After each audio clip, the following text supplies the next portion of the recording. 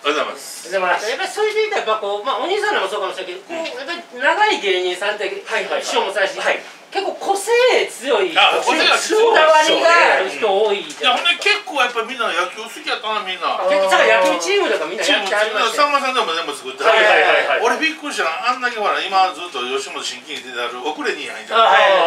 あ遅れにやん野球やったら普通にできんねん。俺びっくりしたわ俺そうセカンド思ってなんなんできんねん。っていやいや後ろからみたいな、いや、あ見た目じゃないし、運動神経いいよ。運動神経でうんびっくりした。えあの人普通に動けんねやと思ってそうそう。でさんまさんとかも持ってたしピッチャーがあの庄司にやん。やーはいはい。もう80%カーブやねうん。まっすぐ投げてけえへん。はいはいはいはいはい。ジミーちゃんとかおったしうん。でもほんまに強いチームやでしょ、さんま師匠あ強かったほんまに強かった。でそこであの師匠がね、はいはい。大輔師匠が相手チームでピッチャーを打って、うんでも芸人同士やから、うん。シャレの効く、あうんピッチャー顔でかいよってこうなんか言うじゃないあ言う言うですかほんならあの真面目な人やから、そうあのマウンドで泣き出して「ちょっとちゃんとやろうや。ちゃんとやろうや」いやいやほんいやまあちょっといいのがね。それであのさんまさんのチームと野球やったんですよ。うん。大輔師匠ピッチャーで。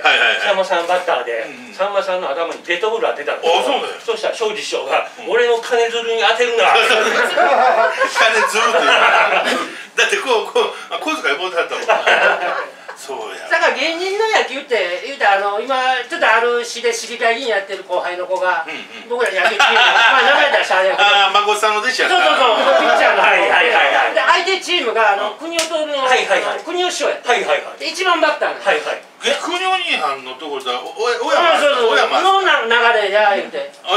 ってたあの？女型の人がやってるチームであの一番初めにそれ作ったんがテロ師匠やねあーテロ師匠あのあれのな宮川さんテロ師匠が作ってはった時に名前が小山俺一番思うんだけどテロ師匠がキャッチボールするの。さマリ投げしょマリ投げって言って。マリ投げ。ちょちょっとこうこうこう柔らかいチーム。貴族か言うとも。マリ投げ。でな投げたその、はい今議員やってるやつが、はい。ほんまに高校野球やってたよ、はいはいはい。もう140キロキロぐらい球はいはい確か野茂からヒット打ったりそうそうあ二塁だね、はいはいはい。まあ初球ピッあバッターの国吉を、はい。わざとじゃないんやけど手も緊張して手元くるってピューってケツにパーン当たっておー。国吉師匠が「ワオー!」って何とも言えんおたけび上げて終わるで20分試合できへんかった。もうあの急なゲリラ豪雨並みな。でもそれ国尾兄はんやってはる自体が珍しいわ。いやいいでしょう。トール兄はんは好きでようやってやって、あの人もおぐれ兄はんとしてあんな感じに見えんねんけど野球は好きでようそうな。んか数合わせ数合わせとか言って国尾兄は俺わわ絶対言うと思う。いやでも当たって弾けてんやけど当たってボコってしたのが一番あかんデッドボールでしょうん一番一番痛いやつや。うん。ワオ跳ねへんかったやワオう師匠大輔師匠野球好きな割にはピッチャーしかできないんですよ。あそうピッチャーしかやったらあそうやほんまにあと多分多分ファーストだけは行ったとしたらな。いつも投げてはったな。野球少年時代からやったことなかったんで芸人になってやりだしたんであの声のかけ方とかわかんないんですよ。なるほどな。はい、ナチとかあるじゃないですか、大輔師匠一番笑ったのが、ナイス声言うたんですよ。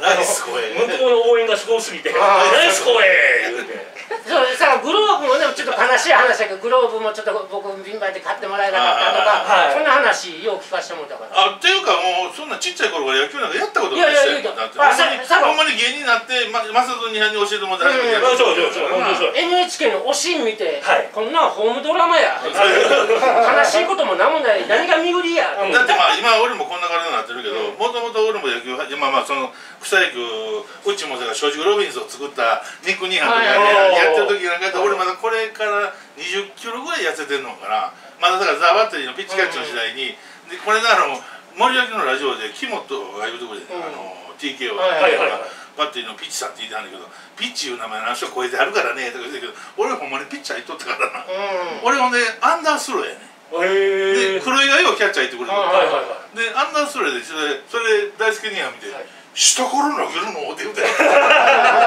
まあ下からやわな。体型だけ見たらね当時は近鉄の若手ぐらいの。体俺型もマンダースローやったからびっくりしちゃったわ近鉄のね、阿野さんさんのあの引退式に行ったんです。で阿野さんと駐車場で引退式終わってお会いしたんです。その時ボールの握り方を説明してたんです。ああのに？僕からしたら引退しとんねん。ああのにしとった。はいああの方がめっちゃしとるいやいやプロやからプロやから。ああのやつもうこうやってこれがフォークねとか言って。るもう思い込みが激しいそれはなったらいやそれが真面目なん真面目にしでしょでもあのまあ近鉄ファンでよ俺もあの藤原球場で FM の仕事やっとったから、たまに応援来てたけど花子やんが阪神なんかほらタイガースの服みたいなのやってるそれでいっぺんなんか近鉄があの優勝争いかなんかしとって、はいはい。ライトスタンドにあの格好でほんで旗も振ってわーっと応援してきてやったんや、はいまあまあ同じ大阪やからタイガースの応はい援はいはい。その格好で藤井さん来てからみんな一斉に「帰れ!」言われとったら「そらその格好はあかんで」あの常識が全くないはいまあ常識いうかまあまあそうやろね。うん。あのイチローがブレイクした時にイチローのお父さんと会うたんですよ。おおそうだよイチローのはい。はい。父のなうちの大好き花子がねうん。で宮川花子がうちの娘と結婚してください。やかましいわそらせや。向こうスーパースターやお前スーパースターどころやねあのそのお父さんが父郎が苦笑いが僕一生忘れないです そこでガー爆笑してくれはったやのになほんならシャレで通じるはい。苦笑いやったらほんまに嫌なだけやな 結構野球選手あの花子師匠あの、はい。川崎宗則さん。はいはいはいはい多はい。分ね。はい。いやもうかけぐらいのねすごい応援してたから、してたな。うんそれやからメジャー行ったんちゃうか離 れたかった似てたそうそうそう。ストーカーストーカーいう噂もあるぐらいねうんすごい応援してはったからいやでも大好き兄はんはそのプライベートのがめっちゃめちゃおもろいよなうんそうですねなんか知らんけどほんまに完全な田舎育ちの人がポンと都会に出てきたみたいな感じやから何で何にでもなんか感動してはったもんな。あの何回見たらすぐ感動してあはったわ。のなんて言うんですかね、あの営業先で、あの飛行機に乗るときに、うん。あの持ち物検査とかはいはいはい。入っていくと金婚ではいはいそういうとこあるじゃないですか。うであの次が大輔師匠で後ろでおばちゃんたちがいてあっうん。て大輔さん大輔さんやってなるじゃないですか。振り向いて「どうも」とか言うかな思ったら「戦争始まりますよ」って言ったんですよチーンとなって。いやこれマジやもん。マジ。初対面って相手誰じゃろういやそがれなんか